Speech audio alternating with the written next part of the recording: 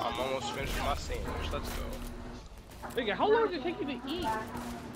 It's a good ass sandwich and it's 12 inches and a lot of fucking Huh? meat. Huh? You know what you're saying. Yo! What? What happened? Don't clip it.